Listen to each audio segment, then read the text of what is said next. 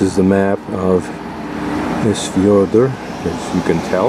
We came in from here, and we're now here at the visitor center, which is right there. I had my my pastry this morning, I think right in this area here. And now I'm going to walk back along through here. I drove here earlier and I'm going to try and find the Westfjords Museum because I would like to see that. This is a big enough town that it may be actually of interest. And then I'm going to come back up here and wander through this area of older homes. And then I'll get some gas at Bona at there at N1. Then go to the bonus, which I think is over here somewhere. And you know, over here on this sub map and then go out here to a campground, take a shower and shave, clean my dishes and move on.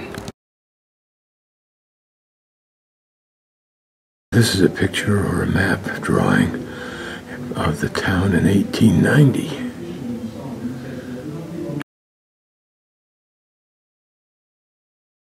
Just pulled into Issa Fjordur and I'm just doing a drive about.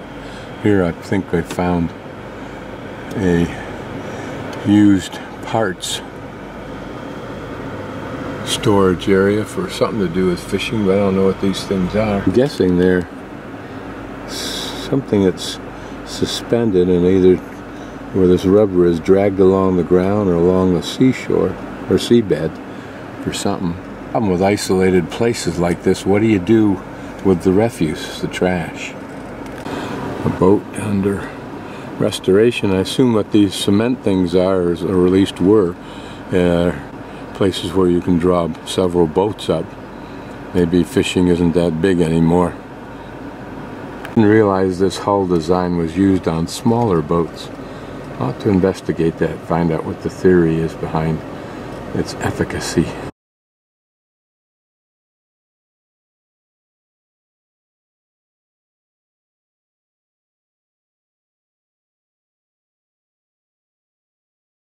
Boat has some yellow warning tape on it stay off of it. Maybe it's been totally damaged. Look at the bottom, it's been roughed up before. There's some more of those plates. There's lots of them. I wonder if they're used, again, for dragging along the water. I'm always intrigued by the infrastructure of the industries in some of these old areas. This one, of course, fishing and what's done with these buildings now. Pretty little boat.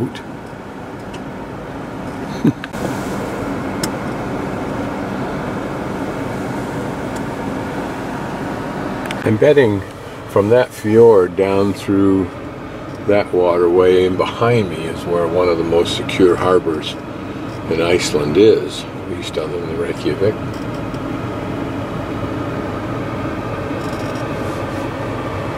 And behind me is a fairly large area that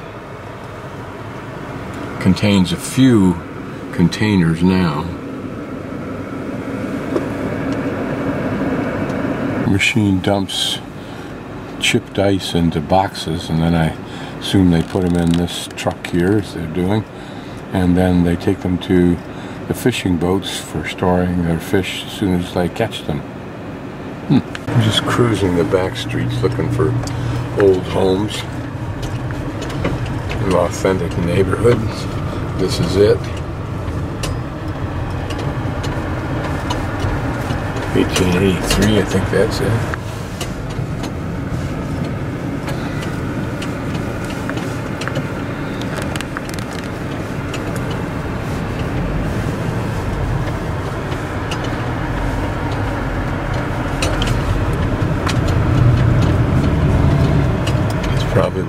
Hotel, still is. Buildings like this one.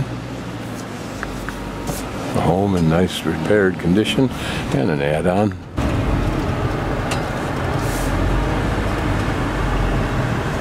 Looks like the tourist center of town. Um, larger new hotel for the tour buses that I saw lined up in a nearby parking lot. Roam around this part of town, whatever this part of town is, in search of older buildings some of the past in contrast to all of the present.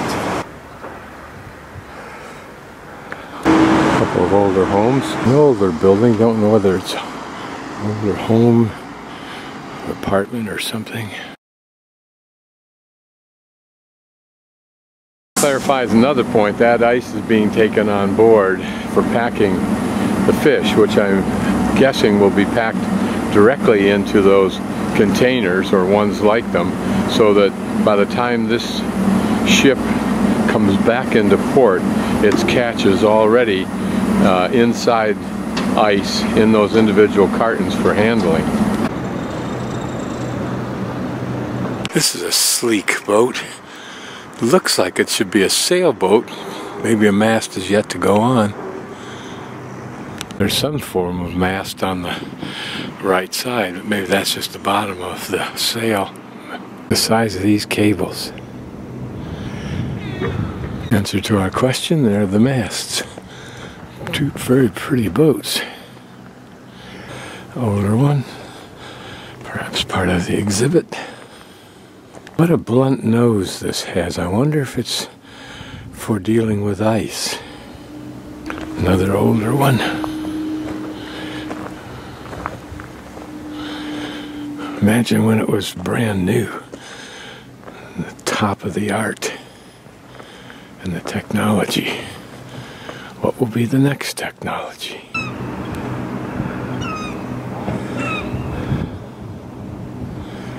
I'm guessing one of these buildings is the museum.